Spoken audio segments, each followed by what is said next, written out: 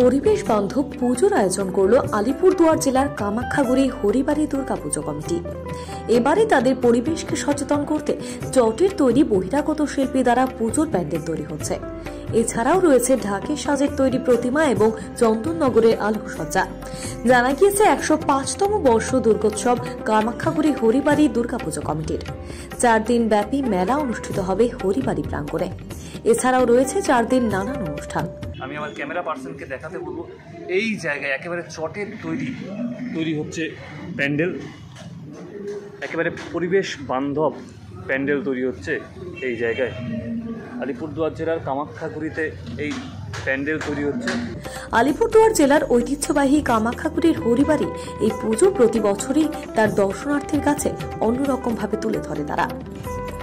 নিয়ম নিষ্ঠা সহকারে চার দিন পুজো করেন স্থানীয় পুরোহিত। এ বিষয়ে সম্পাদক প্রলয় চক্রবর্তী বলেন থার্মোকল পরিবেশে ক্ষতি করে। পরিবেশ রক্ষার্থে এবছর চটের প্যান্ডেল তৈরি করা হচ্ছে। এছাড়াও মহালয়ার পূর্ণ লগ্নে পুজোর উদ্বোধন করা হবে। এবার পুজোর প্ল্যান হচ্ছে, আমাদের প্রথমতেই বলছি যে আমাদের এবারে পুজো হচ্ছে মহলার দিন, আমাদের শুভ লগ্নে আমাদের পুজোর উদ্বোধন হবে। এবং আমাদের প্রতিমা কুমোরটলির ডাকের সাজে প্রতিমা।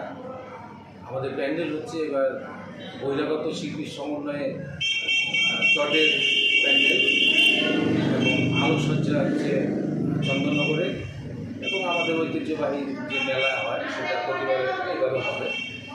এই মুহূর্তে আমরা আছি আলিপুরদুয়ার জেলার কামাখ্যাগুড়ি পরিবারী দুর্গাপুজো কমিটিতে।